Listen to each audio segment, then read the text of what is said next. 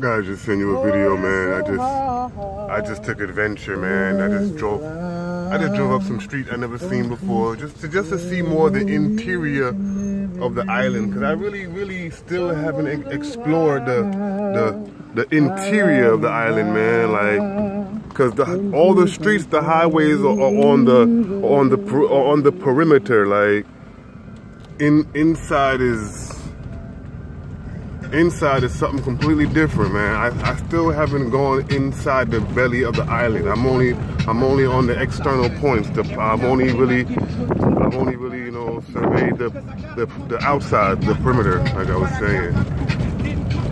I don't know if you can really see this this view at all. Oh, I gotta watch these roads.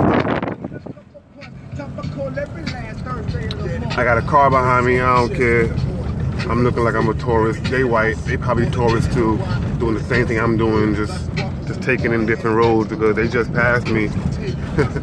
now they behind me again, so they turned around when they seen it. They did what I did. They see it ain't really going nowhere.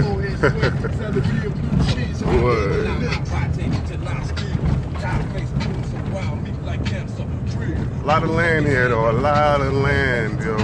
Like this is this is definitely like a farming country, an agricultural place, man. It's a lot of land here.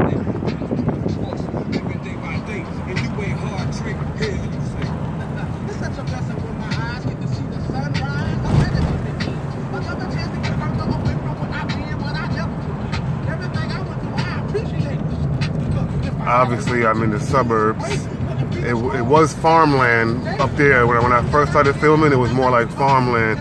But now I've come down more like into a suburban type vibe.